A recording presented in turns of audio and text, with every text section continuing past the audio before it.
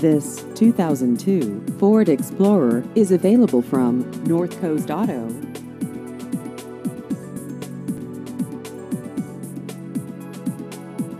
This vehicle has just over 145,000 miles.